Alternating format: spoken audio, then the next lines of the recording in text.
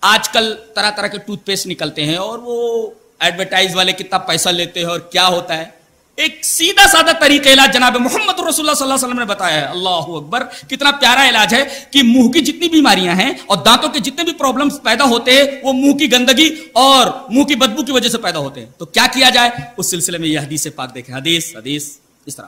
وان ابی حریرہ رضی اللہ تعالی عنہ ان رسول اللہ صلی اللہ علیہ وسلم قال لولا ان اشق على امتی او على الناس لامرتهم بالسواك مع كل صلاه رواه البخاری فی کتاب الجمعہ حضرت امام بخاری رحمۃ اللہ علیہ بخاری شریف کے اندر اس حدیث پاک کو کتاب الجمعہ کے اندر لائے کتنی پیاری حدیث ہے. حضرت ابو ہریرہ فرماتے ہیں کہ جناب محمد رسول اللہ صلی اللہ علیہ وسلم نے ارشاد فرمایا کہ اگر میری امت پر یہ چیز انتہائی شاق، مشقت میں ڈالنے والی نہ بن جاتی تو میں حکم دے دیتا کہ ہر نماز کے وقت مسواک کرنا ضروری ہے، یہ میرا حکم ہو جاتا۔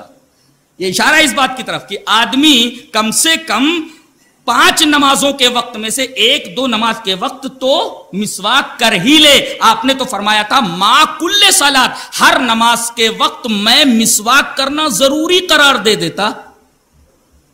اور بار بار مسواک کرنے کی وجہ سے منہ کے اندر جو بدبو ہے، منہ کے اندر جو جراثیم ہے، یہ باہر نکلتے رہیں اور اس طریقے سے منہ صاف رہے دانت اچھے رہے ایک سیدھا سادہ طریقہ علاج جناب محمد رسول اللہ صلی اللہ علیہ وسلم نے دانتوں کو بتایا اور منہ کی صفائی کے لیے بتایا۔